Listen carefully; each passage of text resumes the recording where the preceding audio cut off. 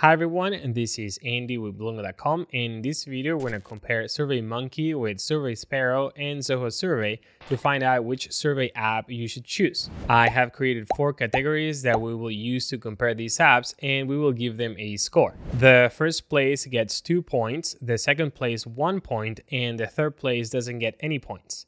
At the end, we're going to review the final score, and I will give you my personal opinion as well. All right, let's get started.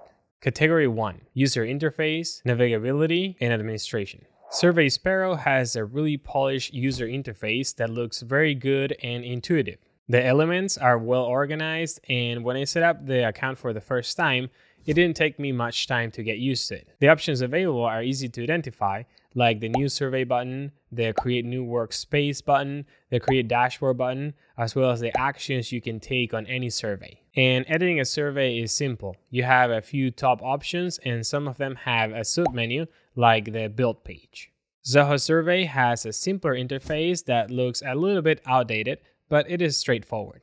For the most part, it is easy to know where the elements are and the create survey button is always present. But there are some things that could be a little bit confusing, like the top menu that shows all surveys, but there is also a page for drafts, another one for published, and another one for closed surveys. This could be all on the same page with a filtering option. Editing a survey can be a little bit confusing as well because on the editor tab, you have a submenu with elements like summary, reports, and audit logs, which are not editing options. This could be in a separate tab for reports. SurveyMonkey also has a pretty simple interface with only a few options on the navigation bar. When you are on the dashboard, you will find your recent surveys and insights about them. The Create Survey button is always there, and it is easy to identify the options you have regarding surveys. Editing a survey could be slightly more difficult than with the other two apps because you have a top menu with several tabs, and then you have the submenu on the left.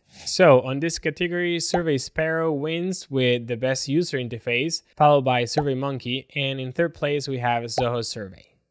Category 2 Top Features. Let's go over the features that all the apps have. All of them can do logic either with questions or pages, meaning that you can skip questions or pages based on previous answers. They all have templates available so you can save time when creating your survey and you can customize the surveys with your own branding and colors. You can also see reports of the surveys in all the apps and customize them create your own widgets, and share or send the reports to other people. More features that are included in all the apps are the option to buy responses, custom variables, and survey password protection. Now, SurveyMonkey has the option to create a survey for you automatically based on your survey topic. It also has a bank of questions that you can use when building your own survey, and it will give you a survey score based on the questions you're asking, amount of questions, etc.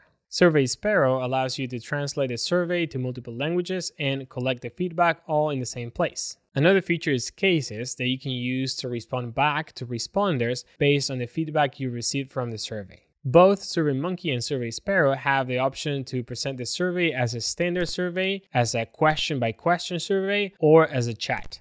So in this category, SurveyMonkey and Survey Sparrow were really close, but I think SurveyMonkey has the advantage because the features are more related to what the app is for, which is surveys. Two points for SurveyMonkey, one point for Survey Sparrow, and no points for Zoho Survey.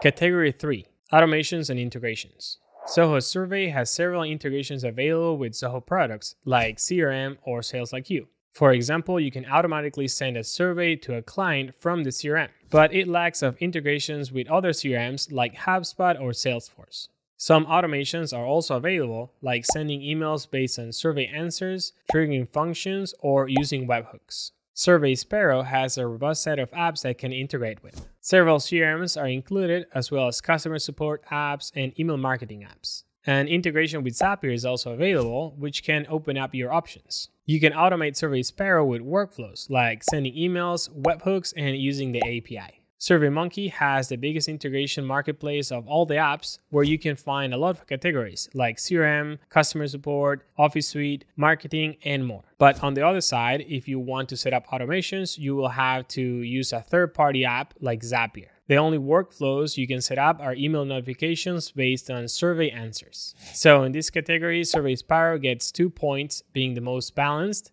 SurveyMonkey gets one point, and Zoho Survey doesn't get any points.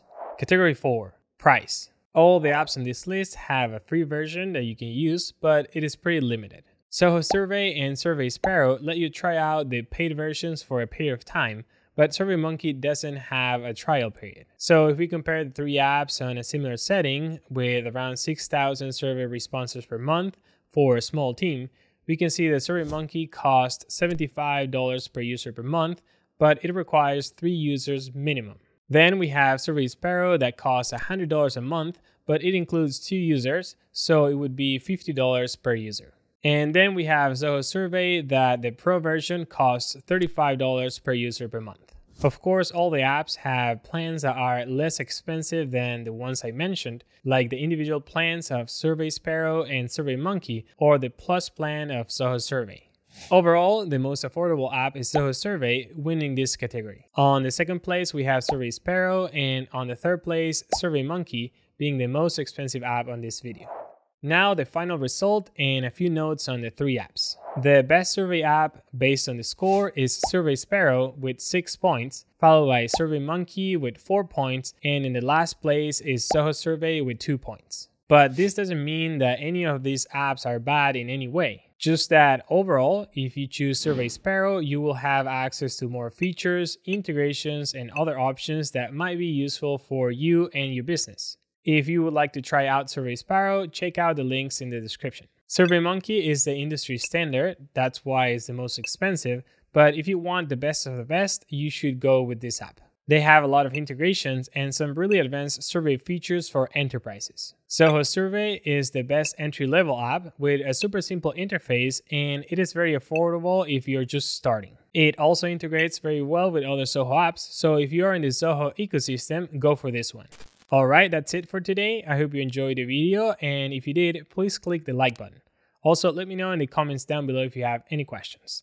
Thanks for watching.